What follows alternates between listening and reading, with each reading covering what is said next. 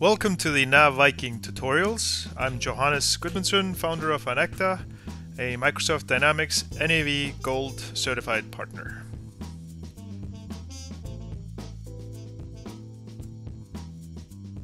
Uh, we continue on the chart adventure. This is uh, video number six in that series, um, and there is quite a lot to cover with when it comes to charting in NAV. A lot of different charts. Um, but in this particular video, what we want to do is go over finance performance. Uh, this this chart over here that we're looking at. It's similar to the other performance charts that we looked at, um, the inventory, sales, and purchase. However, um, there is some significant difference, uh, and we'll, we'll get into that as we're creating it. But the finance performance chart is based on something called account schedules. So uh, what I want to do is create a finance performance chart that shows the gross profit, uh, revenue, and cost of goods sold uh, for the coffee mug over periods. So I'm going to go ahead and quickly create that. So I go into select chart, and I obviously don't have this chart because I haven't created it yet. Um, but in order to do that, I'll just hit new, and I get a new account schedules chart setup. Here I'm going to call this uh, coffee mug gross profit.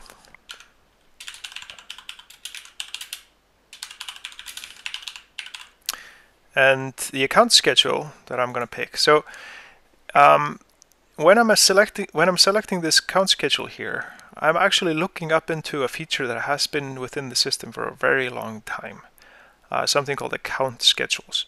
Uh, they were originally used to create financial statements uh, and you can display them live uh, and now it's been connected into the finance performance um, chart. So if I drill into here I'm going to get a lot of examples and you can see most of them are financial statement you know ish. So like balance sheet uh, income statement etc but I'm going to create a new one and I'm going to call it the coffee mug gross profit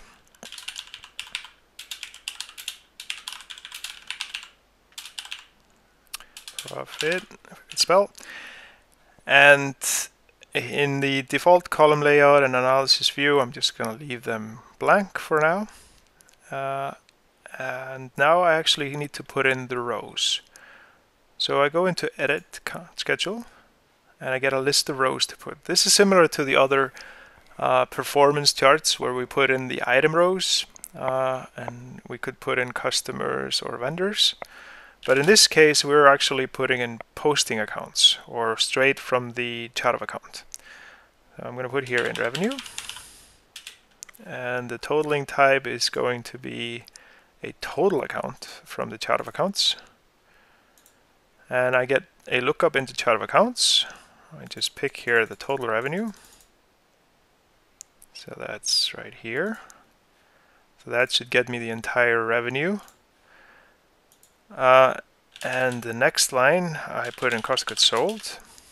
That's also a totaling account, straight from chart of accounts.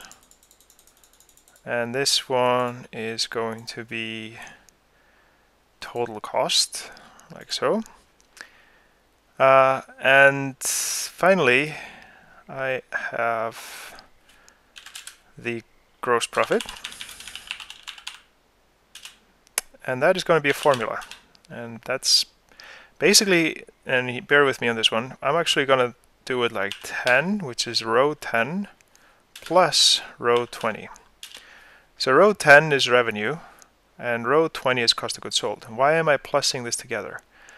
Uh, the reason is that the revenue is reported on the chart of accounts as negative and I'm actually going to turn that sign around because I want it to show positive. So I click this button here, show opposite sign. The cost of goods sold on the chart of accounts is positive because it's debit.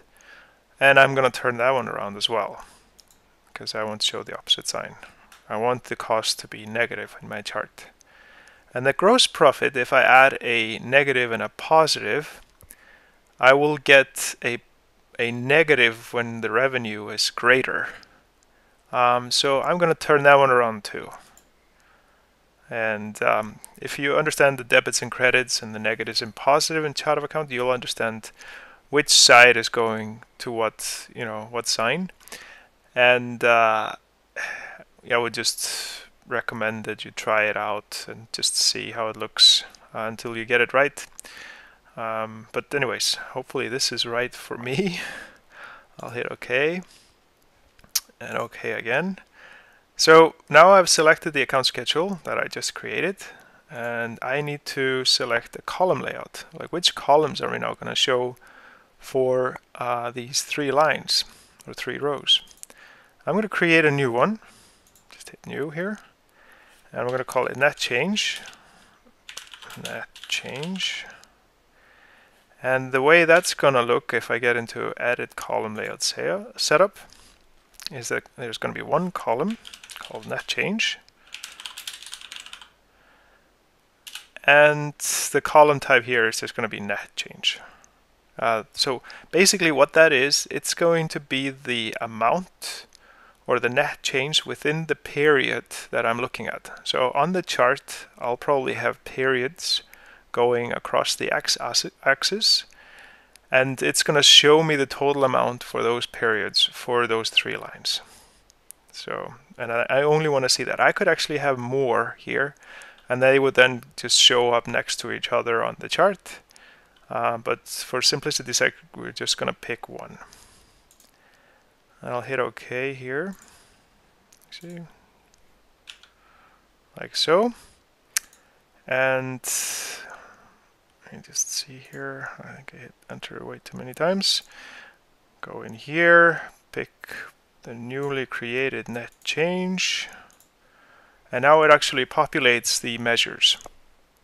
So for the measures, I have the revenue net change, which is a column, cost of goods sold net change, and gross profit net change. Now I'd like to show the gross profit as a line. So, and you'll see it in a bit, it just looks nicer. And then we have it like this. So I hit OK, and OK again. And here I have my chart. Um, I'm going to look at months, like so. So now I'm looking at the uh, January 2018, and I can see my revenue is 159,000 and my cost of goods sold is 196,000 so my gross profit is negative it's not good um, let's look at previous periods I can actually scroll into a previous year here and go all the way down to February so you can see that February 2017 things were nice uh, gross profit is positive and keeps being positive all the way through until this January moment here. And that might just mean that the, the month started out bad and might end up good. But uh, this is a very simple example how to set up the uh, finance performance uh, chart uh, using account schedules. I hope you learned something. Uh, until next time, thanks for watching. Thanks for taking the time to watch this video. As always, we welcome any questions or suggestions, um, so leave comments, or of course, if you can subscribe, that would be awesome. Uh, we are trying to build our fan base over here at Inecta. And uh, if you want to look for further information, please go to inecta.com.